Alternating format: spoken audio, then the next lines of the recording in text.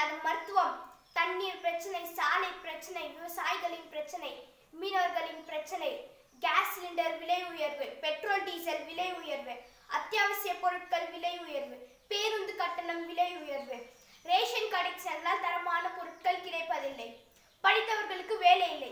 இது எல்லாம் விட பெண்களுக்கும் பெண் குழந்தைகளுக்கும் பாதுகாப்பில்லை இது எல்லாம் நீங்கள் சிந்தித்து விவசாய சின்னத்திற்கு வாக்களிங்கள்.